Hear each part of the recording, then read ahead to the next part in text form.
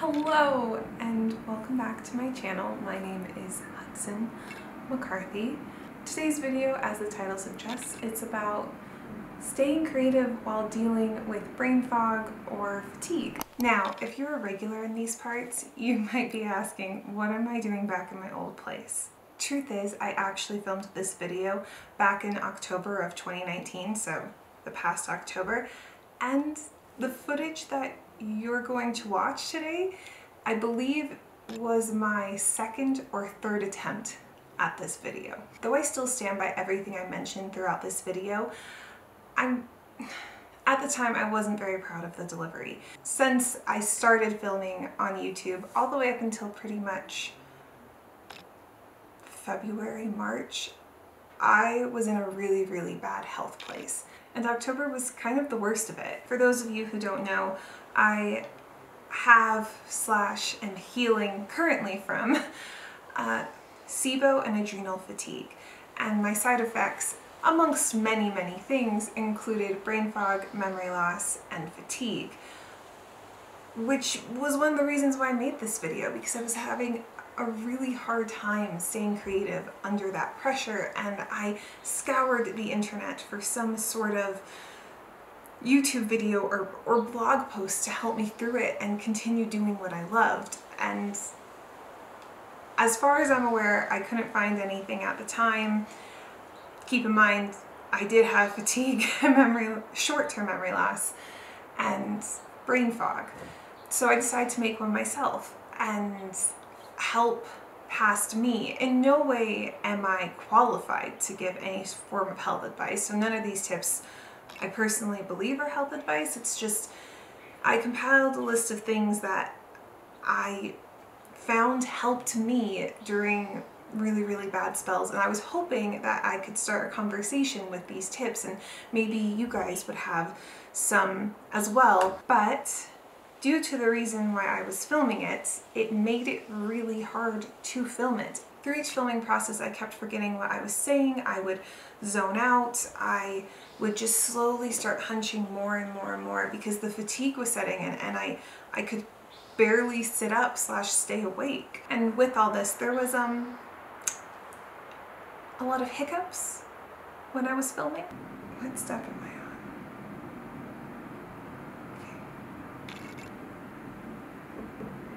Okay. Wait, what is step number six? What is tip number six? What is happening? Honestly, I thought I had deleted all this footage, but the other day I was going through my hard drive and I found, I found it and I watched it over and I was like, you know, it, it wasn't that bad. The points I made were valid and I think also showing it in the mental state I was in is more important than like a healthy me, like saying, hey, do this guys and then you as a viewer who might be going through something similar currently might question the validity of my experience. But the second reason why I'm also now publishing this video is due to the current state of the world.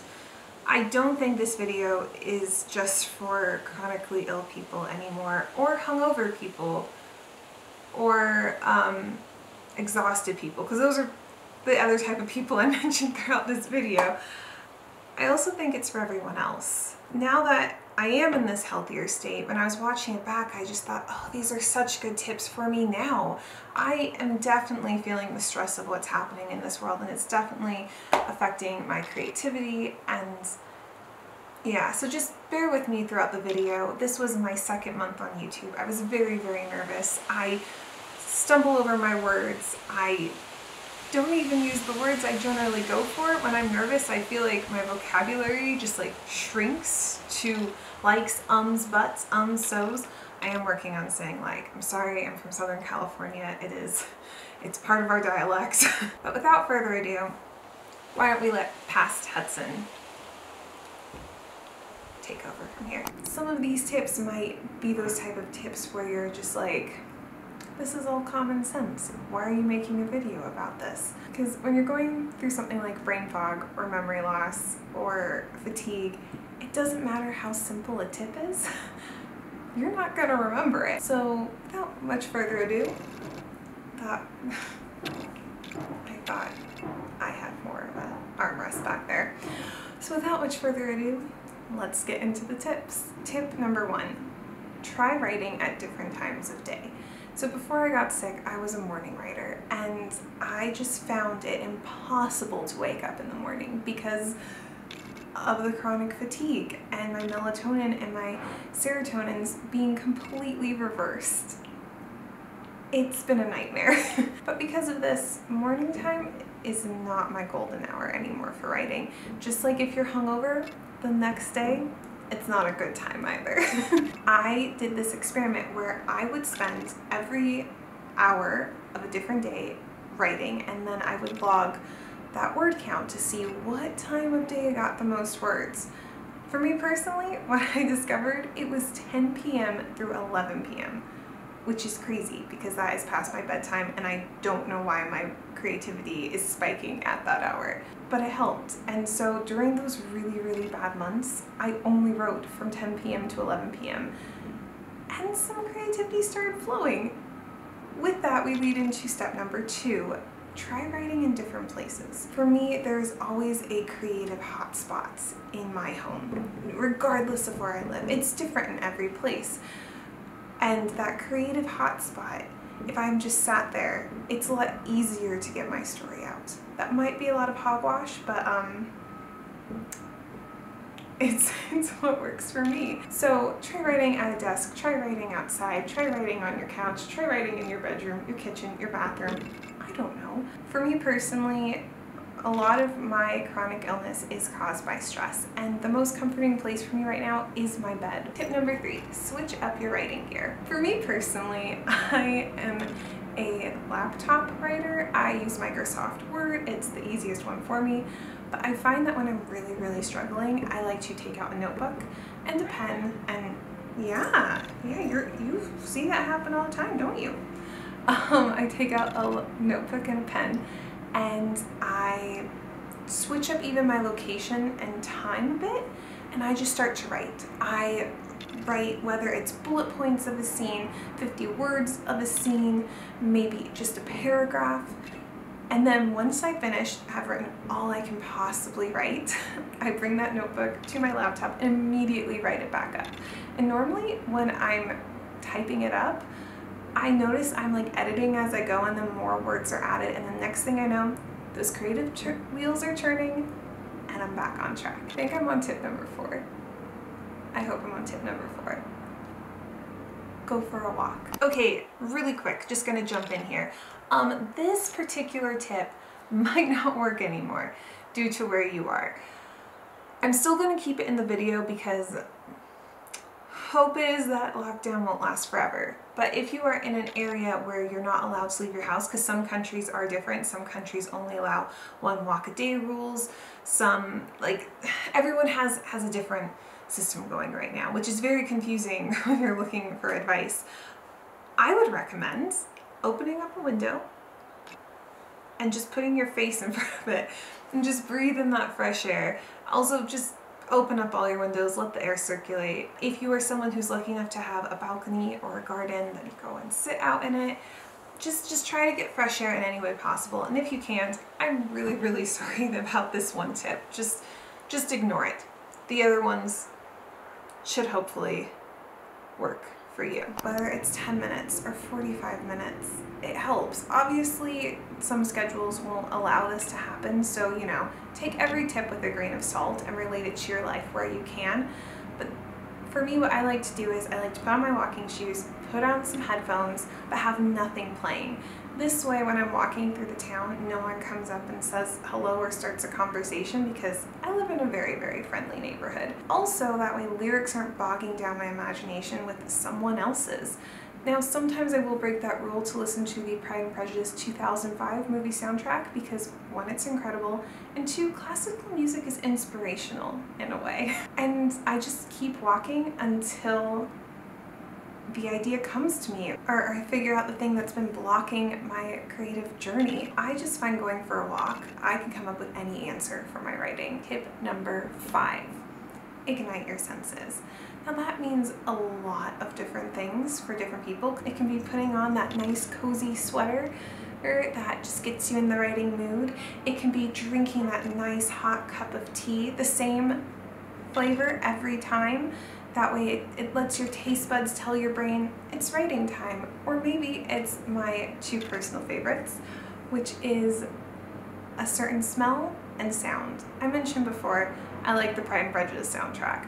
I also like to listen to Dungeons and Dragons playlist because they generally there's a hair in my contact. I personally like to listen to the Dungeons and Dragons playlist because they generally have really good ones on Spotify for different type of moods that you're writing about. And then also scents.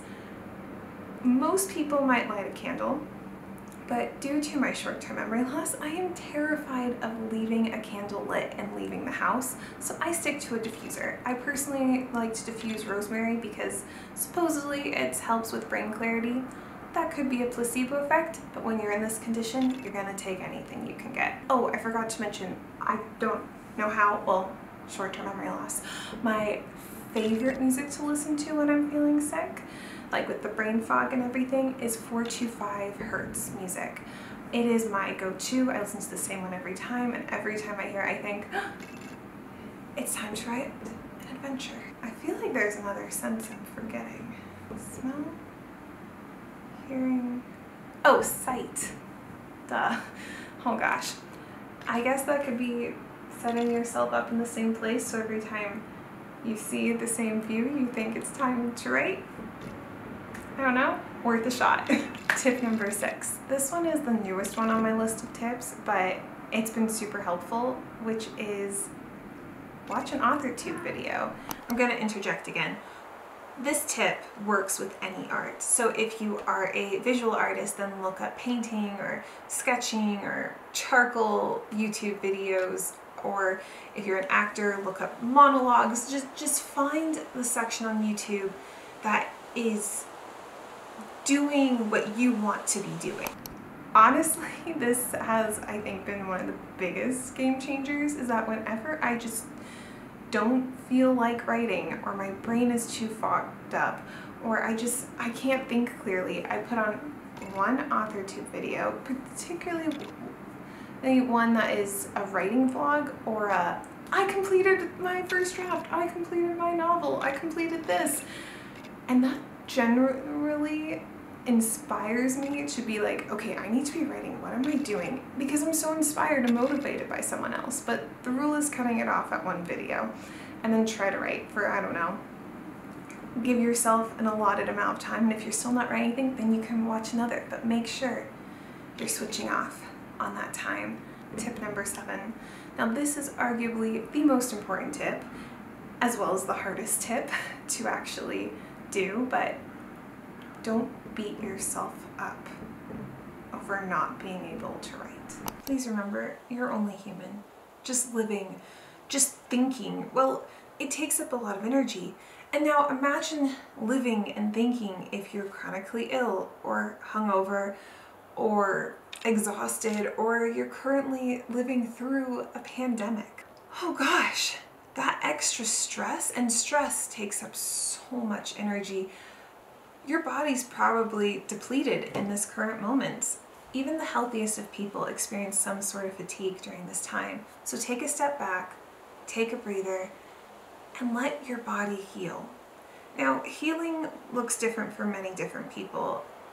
It could be taking a nap, it could be meditating, it could be reading a book, it could be doing another sort of art or hobby that you don't have the same pressure as you don't put the same sort of pressure on yourself as you would with your main art. For me personally, my art involves looking at a computer and I remember my eye doctor and my acupuncturist actually told me that your eyes, I believe it's 15% of your energy, that just by using your eyes it uses 15% of your energy. So screens, whew, that's bad. So I like to do is I just like to meditate or practice Reiki or just lie there looking at a wall and thinking, letting my eyes rest. In other words, just do something else. Try anything else. That way you don't start associating your art with the negative energy that you're pouring out because you're so upset that you're not getting the words out, you're not editing the perfect photo, the monologue isn't being delivered in that perfect dramatic tone. Just just just try something else for fun. If you take anything from this video, just remember this. What you are feeling is valid. It's human. It's if you take anything from this video, just remember this. What you're currently going through is valid. It's normal, it's human. This moment in time does not define you. You will get through this. So hang in there, and just don't beat yourself up over it. All right, past Hudson, back to you. All right, and those are all the tips. Thank you so much for watching. If you have any more, please let me know down below.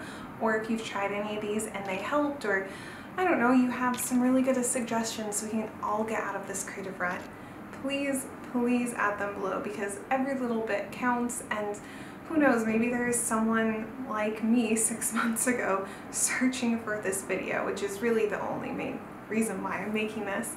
But also know that if you have a different type of art, I feel like this can work for any art. I don't know. Mine's just creative writing, so I said creative writing. Either way, thank you so much for watching, and I will see you in the next one. Bye! I think this, I think this video is the think it is. I think this is the last time I ever have to film it. Hopefully. Fingers crossed.